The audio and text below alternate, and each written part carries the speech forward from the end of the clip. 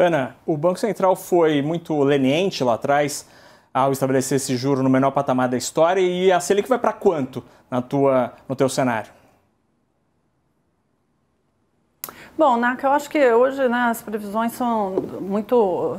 Assim, hoje a gente tem é, campo para fazer previsões aí muito amplas, até em função dessa incerteza que nós vivemos hoje no campo político e no campo fiscal. Vamos lembrar que nós estamos numa discussão é, orçamentária, não só 21, 22 também. Portanto, é difícil hoje fazer uma previsão considerando a situação de incerteza que nós estamos vivendo hoje. O que eu posso dizer é que certamente estamos aí frente a, a uma volatilidade muito elevada e o, o juro, infelizmente, é para cima definitivamente. Tudo bem. Caio, o Banco Central, falando ainda do Banco Central, ele foi leniente demais no dólar com o câmbio? Olha, o Banco Central ele ajusta a taxa de juros mirando a inflação. Né? É, e, e para chegar na inflação, a taxa de câmbio é importante, a, a, atividade econômica é importante, mas o objetivo final é a inflação. Eu acho que o Banco Central foi bem quando reduziu a taxa de juros para 2. Eu acho que ele poderia ter feito isso, na verdade, mais rapidamente. É, a vantagem da política monetária, dos juros, é que tem cupom a cada seis semanas. Então, você baixa o juro quando precisa, quando a economia começa a voltar, você vai normalizando. Talvez ele tenha demorado para cair, quando precisou lá atrás, e talvez ele tenha demorado um pouco para sinalizar que a inflação já já estava começando a voltar para começar a normalizar a taxa de juros. Mas dito isso, eu acho que a, a queda de juros foi importante para para é, é, equilibrar a economia durante a pandemia e agora vai ser importante para equilibrar a inflação lá na frente. Ana, diante de tantas incertezas como você destacou, queria pedir dicas para você, para quem está nos assistindo, de como tentar se proteger desse cenário cheio de perguntas aí pela frente em 30 segundos, por favor.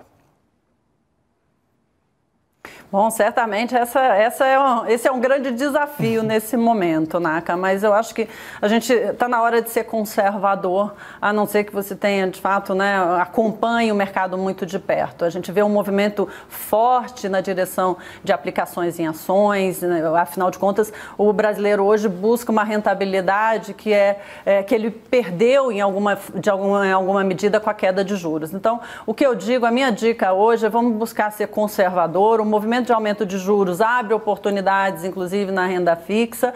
E, por outro lado, para quem entende, para quem conhece e quer se arriscar um pouco mais, é claro que o mercado de ações é sempre uma excelente oportunidade, mas com todos os riscos que a gente, inclusive, falou sobre eles aqui ao longo do programa. Muito bem. Caio, dicas em 30 segundos. É hora de conservadorismo?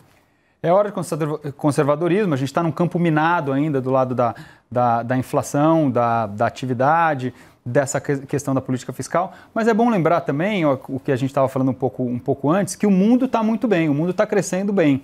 Então, por exemplo, empresas que estão mais ligadas ao ciclo econômico global podem ser uma proteção nesse momento.